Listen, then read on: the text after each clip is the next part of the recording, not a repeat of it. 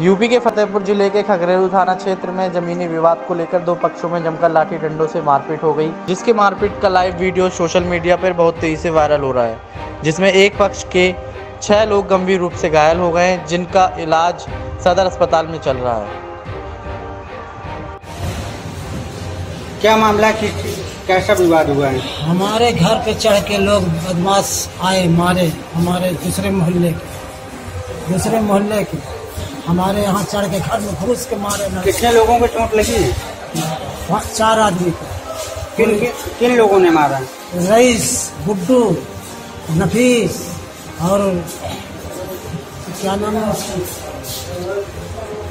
इकरार और लड़का हमका नाम किस चीज़ को। लेकर विवाद हुआ है?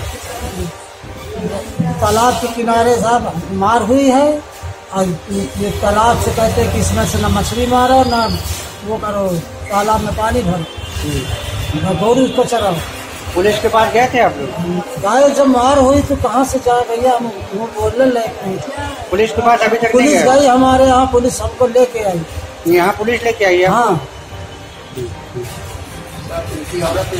हमारी थाना खकरेरू अंतर्गत हकीमपुर खंडवा गाँव में लेखपाल द्वारा पैमाइश के दौरान दो पक्षों में मारपीट हुई जिसके संबंध में थानाध्यक्ष खकरेरू द्वारा मुकदमा पंजीकृत कर विधिक कार्रवाई की गई